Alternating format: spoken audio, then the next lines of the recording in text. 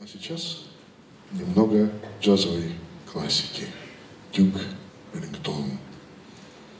Cotton Tail.